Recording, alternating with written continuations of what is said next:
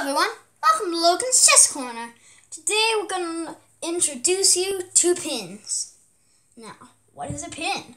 Well, a pin is when, it's like this. A pin is when one piece is stuck to the king, like this. If I move my rook here, the queen, if it tries to move away, it can't. It's stuck to the king, because the king would be in check. So you, the king has to move. The king doesn't have to move, but well, that's the best way to get out of the pin. If the king moves, you get the queen. Now, let's show an example of a pin with a bishop doing a pin. Let's add a few more pieces to the board, like a rook here. And now, do you see a way that the bishop can pin? Yes, here.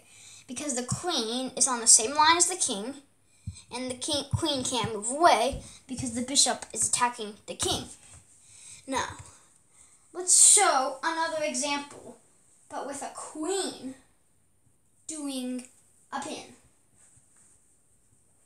Let's go with this.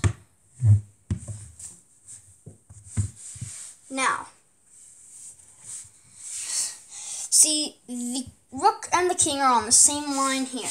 Can the queen move to this line to pin the, the rook to the king? There's actually two correct answers. There's actually three correct answers. Queen here, that pins, because the rook can't move away, because it would be in check.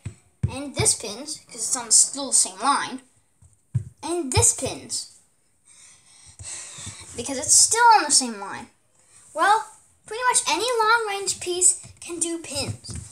The only pieces that can't do pins are knights, pawns, and kings. Next lecture, we'll focus on skewers. Till next time, this is Logan, signing off.